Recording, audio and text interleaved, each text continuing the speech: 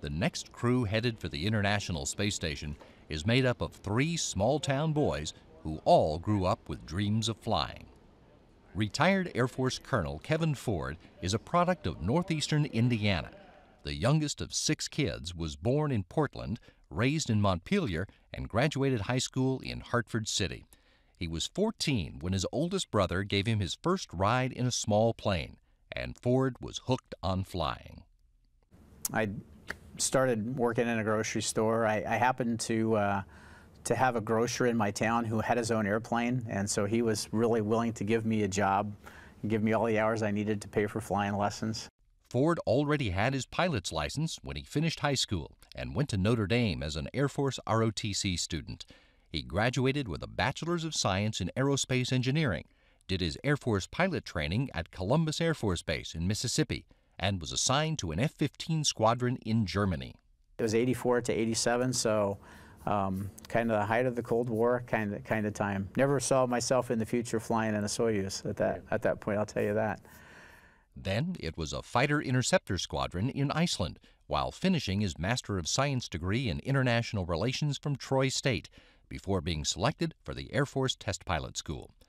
Ford earned a Master of Science in Aerospace Engineering at the University of Florida while flying as a test pilot at Eglin Air Force Base and then he took a three year assignment to complete a doctorate in astronautical engineering from the Air Force Institute of Technology. He served as an instructor at the Air Force Test Pilot School before being selected as an astronaut in 2000 and did a tour as NASA's Director of Operations in Star City, Russia, before making his first trip to the International Space Station as the pilot on a 2009 shuttle supply flight during Expedition 20. Ford is a supporter of robotic exploration beyond low Earth orbit. But I think that the human, the emotional connection comes about because uh, we, we see ourselves out there, we project ourselves out there, and, and we really want to go explore on our own, have a look with our own eyes. Russian Air Force Colonel Oleg Novitskiy is from Cherven, a small town near Minsk in what is now the Republic of Belarus. Flying in space was his childhood dream. When I was a kid, I remember looking into the dark uh, sky with stars, and it was like a magnet. After I grew up, I realized that it's not as easy to become a cosmonaut, so I picked the shortest route. That meant becoming a military pilot. After high school, he entered the Borisoglebsk Military Pilot School. But when the military reformed itself after the fall of the Soviet Union, he moved to the Kachin Flight School and graduated with a specialization in command tactical aviation. After that, I also studied uh, to uh, work with uh, military machinery, which took about one year. And in 1995, I was assigned to work in the city of Budyonnovsk, Stavropol region, where I started uh, working as a military pilot. Over the years, Novitskiy was an active duty pilot and rose to become the deputy commander of a squadron based in the North Caucasus. He studied military unit management at the Yuri Gagarin Air Force Academy before serving as commander of an attack air squadron and was selected to begin cosmonaut training in 2007. He was serving as the Russian Space Agency's Director of Operations in Houston when he was selected for his first flight.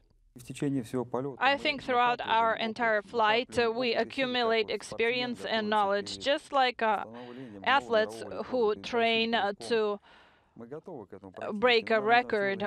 So we are preparing, and uh, I hope that uh, in the uh, future we will perform a long duration space flight, hopefully to Mars. Russian Air Force Lieutenant Colonel Evgeny Tarelkin is the son of a military pilot and a military doctor. He was born in Pervomaysky in the Chita region in southeastern Siberia, but lived all over the country. In his desire to become a pilot, he made his first parachute jump at the age of 11, despite not weighing enough to make the system work. I added sand to my pockets, to my boots, and so I did come to weigh 50 kilos. So I went ahead and I jumped. Tarelkin graduated from high school in Chkalovsky, near Star City, spent time at a military academy in Monino, graduated from the Eysk Air Force Pilot School, and then the Yuri Gagarin Military Academy, with a specialty in air transport operations and air traffic management.